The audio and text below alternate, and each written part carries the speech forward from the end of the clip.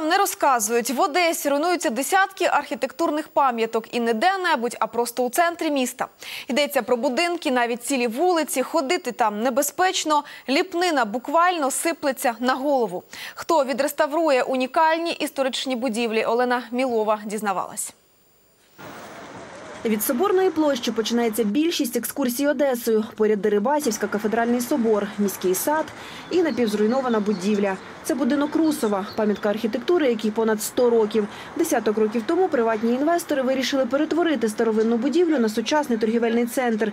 Одесити запротестували. Відтоді будинок Русова стоїть пусткою. Мы начинаем отсюда пешеходную прогулку, мы э, так или иначе цепляем этот кусочек Соборной площади, и этот дом, он на виду. Конечно, спрашивают, конечно, узнают подробности, конечно, когда упоминаешь, по-моему, 14 пожаров, которые здесь произошли за последние э, много лет, э, это впечатляет. Ще одна будівля у туристичному маршруті – будинок Гоголя. Тут великий письменник працював над другим томом «Мертвих душ». Від кінця 90-х він стоїть порожнім у середмісті. Власники просто нічого не роблять. Я вижу в данном случае э, ну, злой умысел, потому что в таком состоянии памятник архитектуры не может находиться. Скажем откровенно, мэрия больше думает не о сохранности города, а о том, как продавать для градостроительных нужд площадки. Та й сама вулиця Гоголя небезпечна для прогулянок. Фрагмент унікального фасаду чи декору може впасти просто на голову. Небезпека підстерігає туриста навіть біля Одеської мерії. Унікальне творіння архітектора Бофо,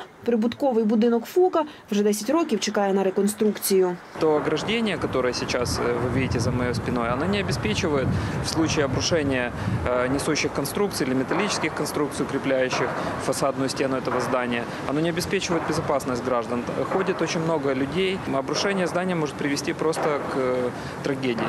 Чиновники запевняють, приміщення цілком безпечне. Втім, оце відео, зняте громадськими активістами всередині будинку, говорить про протилежне.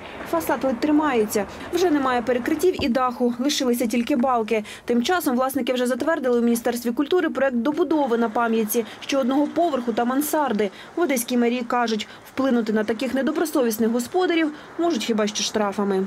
городской совет получил право выносить штрафные санкции, предусмотрено до 170 тысяч гривен, и, и попробуем каким-то образом хотя бы так уже сдвинуть данную ситуацию.